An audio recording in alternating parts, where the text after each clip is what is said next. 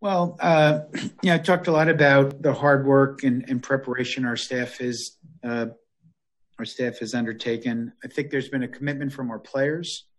Uh, you know, you can you can put much the same as you can put someone in position to succeed on the field. They still have to do the hard work, and so uh, our our team got together early on uh, and had a set of team guidelines. They, by the way, sent to me and my son Mike since we're uh, tier two employees here and uh, I was told if I, I couldn't pay attention to those things, for example, not eating in inside at a restaurant, then uh, they love that I'm the owner, but I should sit in the sit in the seats or, sit upstairs in a suite and not come down onto the field. And uh, I took those guidelines seriously. And also have to mention there's a lot of uh, you know uh, randomness, and, and, I'll say we had good luck, right? Um, so we know there were challenges in Miami. Miami also happens to be a hotspot.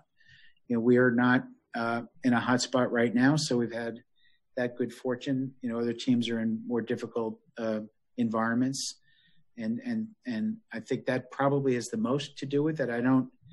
Well, I'm praising our our guys and everybody's commitment. I'm, I'm sure every other team has had a similar level of commitment, and uh, you know that's the, the challenging thing about this disease. I was supposed to come out to opening day in Chicago. You know, I had a, a pilot who had tested uh, negative in early July, followed every protocol, every testing, uh, every temperature check.